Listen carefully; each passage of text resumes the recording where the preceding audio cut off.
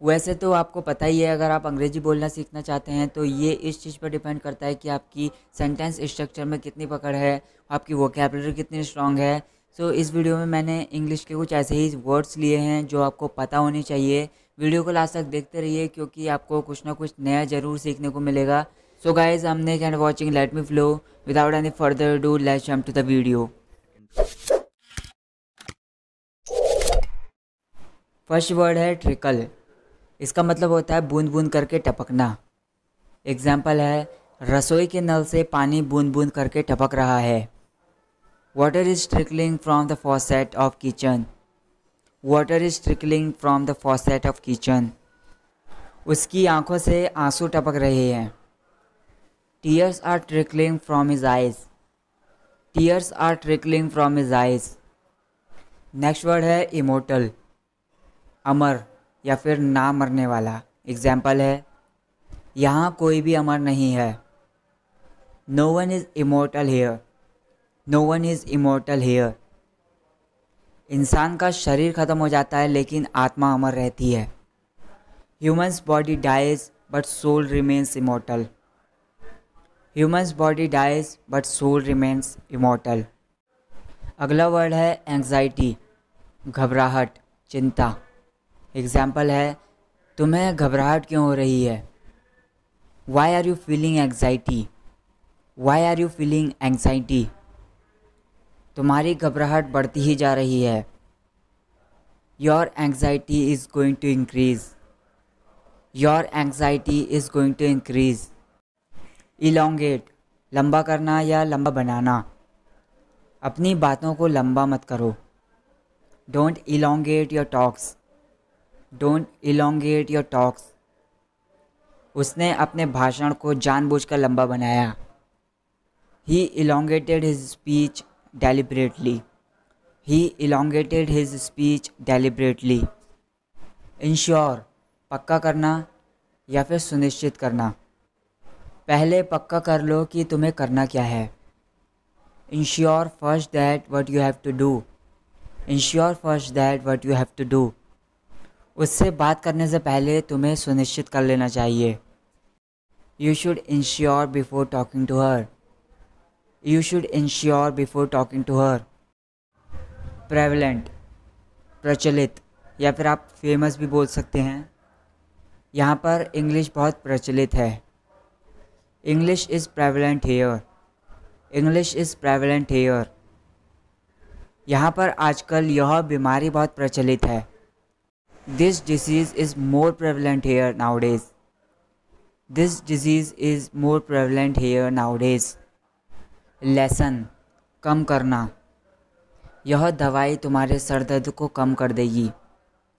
This medicine will lessen your headache this medicine will lessen your headache दर्द को कम करने के लिए डॉक्टर ने मुझे इंजेक्शन लगाया।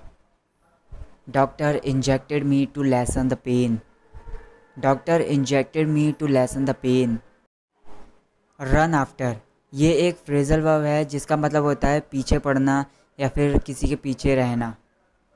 मैं पैसों के पीछे नहीं भागता हूँ। I don't run after money I don't run after money उसका पीछा मत करो।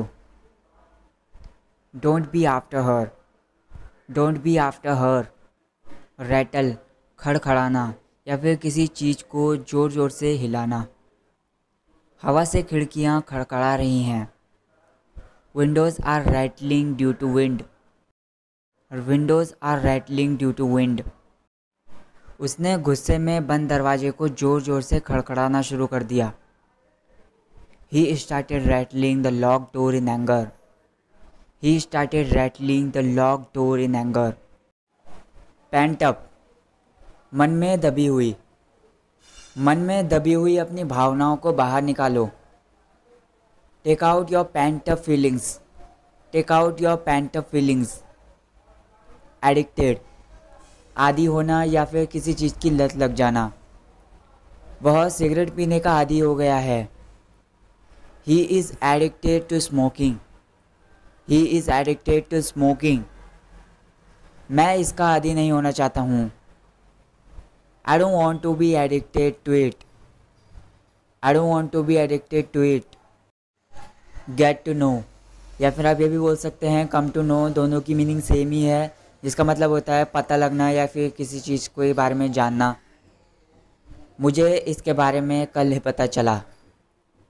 I got to know about it yesterday या फिर आप ये भी बोल सकते हैं I came to know about it yesterday यहाँ पर मेन वर्ब की सेकंड फॉर्म यूज़ हुई है, क्योंकि जो सेंटेंस है पास्ट इंडेफिनिट टेंस का है।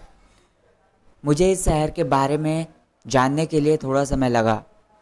I took a while to come to know about this city या फिर आप ये भी बोल सकते हैं I took a while to get to know about this city humiliate किसी को नीचा दिखाना या फिर अपमानित करना। मुझे अपमानित महसूस हुआ जब उसने मुझ पर हंसा। I felt humiliated when he laughed at me I felt humiliated when he laughed at me हमें किसी को नीचा नहीं दिखाना चाहिए या फिर अपमानित नहीं करना चाहिए। We should not humiliate anyone we should not humiliate anyone sympathy सहमति या हमदर्दी। मुझे तुम्हारी हमदर्दी नहीं चाहिए। I don't need your sympathy I don't need your sympathy मुझे उसके लिए कोई हमदर्दी नहीं है। I don't have much sympathy for her या फिर आप लड़के के लिए बोल सकते हैं I don't have much sympathy for him word of cash नोटों की गड्डी. एग्ज़ाम्पल है, नोटों की गड्डी दोबारा गिन लो। Count again the wad of cash count again the wad of cash नोटों की गड्डी संभाल कर रखो। Store the wad of cash store the wad of cash ancestral इसका मतलब होता है बाप दादाओं के ज़माने का या फिर आप पैतृक भी बोलते हैं। मुझे बाप दादाओं की ज़मीन से कोई भी हिस्सा नहीं मिला। I didn't get any share in ancestral property.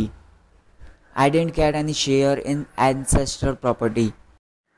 For instance, माना या फिर उदाहरण के लिए इंग्लिश में फॉर एग्ज़ाम्पल भी बोल सकते हैं।